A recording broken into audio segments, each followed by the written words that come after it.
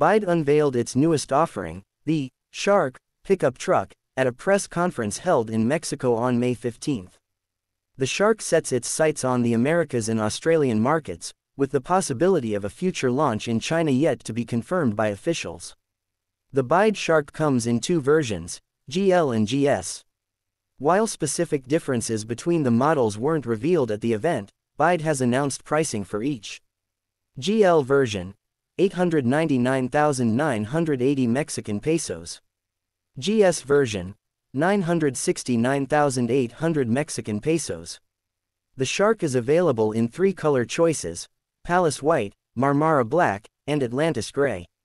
In terms of size, the pickup truck measures 5,457 mm long, 1,971 mm wide, and 1,925 mm tall, with a 3,260 mm wheelbase.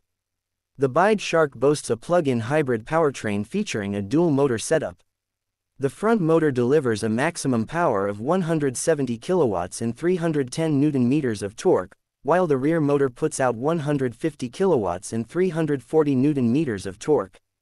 This combination allows the Shark to accelerate from 0 to 100 km per hour in just 5.7 seconds and reach a top speed of 160 km per hour. The Shark is equipped with a 29.58 kWh battery pack, offering a pure electric range of 100 km. In combined gasoline-electric mode, the range extends to an impressive 840 kilometers. BYD also claims a fuel consumption rating of 7.5 liters per 100 kilometers. The BYD Shark isn't all brawn, it boasts a brain to match.